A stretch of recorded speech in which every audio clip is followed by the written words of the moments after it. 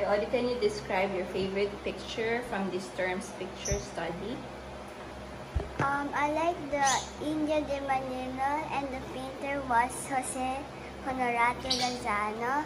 And then, so I like, I like the India de Manila because um, I, I thought at the first time um, it was a Filipino, but when I realized it was like a, it was very, uh, her skin was very white, and she was also like wearing colorful clothes, and and then so, and then even, um, and then so so it was a woman, and she was holding an umbrella like that like a blue umbrella and then so she was um and then so all around her there's trees.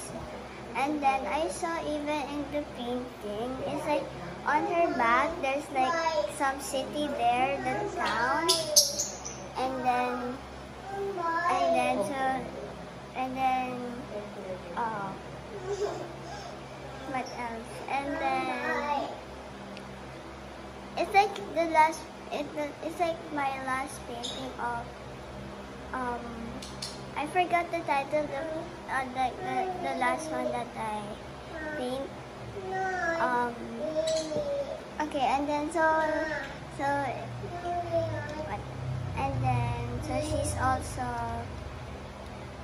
um and then her clothes there's blue yellow pink and other color and other colorful um, colors. And then and then um, and then she's also like wearing like a like a peineta on her hair. And then and then so when I also paint the India de Manila I also like how I paint the girl. And I really saw how how it was painted and then I think that's